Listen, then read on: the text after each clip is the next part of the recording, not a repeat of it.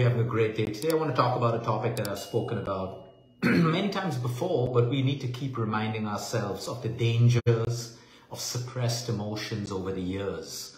Today there's a direct correlation between suppressed emotions and disease.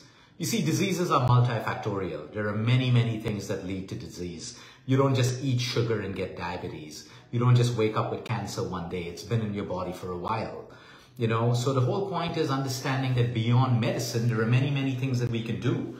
For the longest time, we've been programmed by society and the world to believe that medicine is the only way, allopathy. It's great. It can save lives. You need chemotherapy, radiation, surgery, diabetic medication. You need all of that if you need it.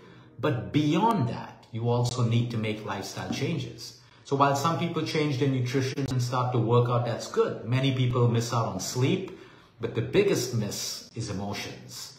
Today we know there is enough of scientific research showing us how suppressed emotions can lead to the deadliest diseases. And the science is simple because suppressed emotions creates anxiety in the body. You spend more time living in the sympathetic nervous system. Whereas all the healing and recovery and prevention happens in the parasympathetic nervous system. So you have a hormonal imbalance, you have inflammation, 94% of the diseases are categorized as inflammatory conditions. So the point is, your problem may be real. Maybe you don't know who to express to, but the point is, it is not impossible. Today, you can take a therapist, you can take a counselor, you can express to a family member, a sibling, a friend, doesn't matter. I know some people who have no one to talk to, but they write. They express through writing and then they tear it up. Some people record voice notes of their anger, what they're feeling, what they want to say to people that they can't say it to. The point is, expression is important. A lot of people think that, oh, if I express my problems won't change, no one's going to change, no one's going to give me a solution. It's not about you getting a solution. It's about you expressing. Anything that you keep. I mean, it's the simple example of a pressure cooker. Okay, you know the pressure cooker is going to explode at some point if the pressure isn't released through the whistle. It's the same thing in the human body.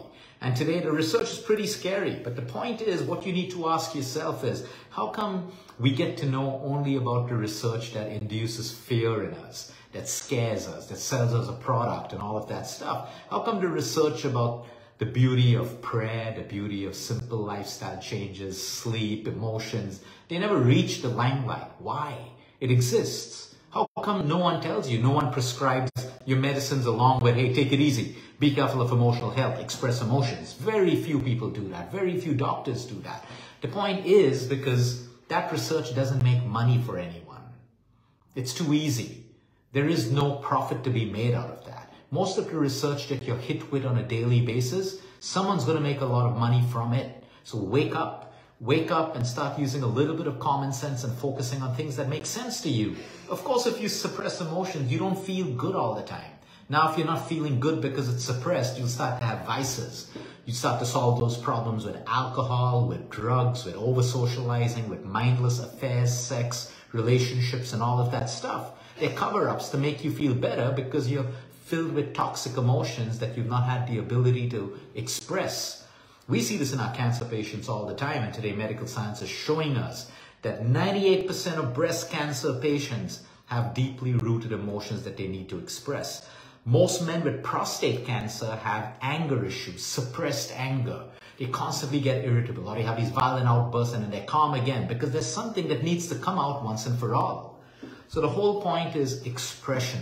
Very, very important. A lot of depression also is related to suppression, where you just feel no one will understand you so you don't express.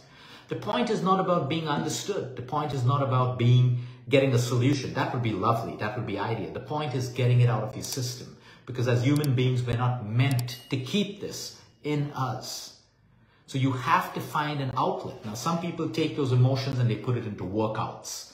They put it into push-ups, they put it into squats, they put it out into a run, they put it into a walk in nature. Some channel it into art.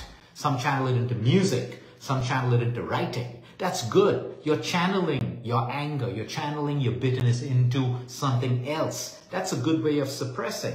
But try to build relationships in your life which are so mature and so fulfilling that you have the ability to express. Today, when we counsel a lot of young couples, old couples, teenagers, all of that stuff, you know, then these great relationships, everyone's hot, dressing up hot, great sex, all of that stuff. But the relationships are still breaking up because at some point, they, I, I, besides this, I have nothing else. You know, I don't think he understands me. I don't think she understands me. We can't even talk about emotions. We can't even talk about this. So all of these material and these, you know, fancy things, pleasure-based stuff, which is also important, intimacy, it fades away. But when you build intimacy, that's beautiful. Some of the best relationships thrive because there's intimacy. Okay, there may not be that much of sex, there may not be that much of partying and drugs and alcohol, but they survive because of intimacy. But you know a lot of relationships where people are partying, drinking, all of that stuff, they tend to break up because there's nothing besides the alcohol and everything else. There's nothing else. So you need to understand when you're looking for a partner or you're in a relationship, while everything seems good, it is important for you to build conversation, communication, because that's beautiful. You're going to need it at every aspect of your life to express, to talk about things. But what if you're in a situation when you where you can't? You suppress it. And then there are, of course, situations where there's child abuse, there's rape, there's molestation, all of that stuff. You know, yeah, you need therapy. You need to speak to someone who can help you through that pain. That expression is also important, especially in our country, India. I don't know about other countries. There are a lot of women out there and men who have been abused as children, as teenagers, even as adults, and they're not allowed to speak about it. They're not allowed to express it, and they come to us with disease. And then we got to get them onto a counselor who can, you know, get it out of them, get it, get them to express, breakdown and the healing after that is therapeutic. So please understand the importance of expression Okay, now there are a lot of people who may not express they're introverts, but at least they're processing it. So let's say something emotional happens to me today. I don't need to go and tell the world. I don't need to share it as long as I'm processing it. So I sit down and I understand, okay, yeah, this made me feel bad. Okay, I could do this differently. Okay, I'll just let go of that person. That's how it is. I've processed it. That's okay as well. But if you're not processing it, and you're constantly suppressing it and it's making you feel bad, it's coming out in your behavior, your feeling, your outlook towards life, it is going to hurt you. It is going to hurt you at some point at a physical level. So a lot can be done beyond nutrition, beyond medicine, beyond sunshine, beyond exercise. It is what's happening inside of you. So I encourage everyone to constantly reflect and it is never too late to express it is never too late to open up, talk about it, you know, to the right people. Remember what we did on oversharing. So you want to be careful of oversharing because remember, uh, privacy is protection. But have such good relationships in your life. That relationship doesn't have to come in the form of a lover. it doesn't have to come in the form of a husband or a wife. Ideally, it would be nice that way. It can come out in the, in the form of a friend, an aunt, an uncle, a parent, a sibling. It doesn't matter.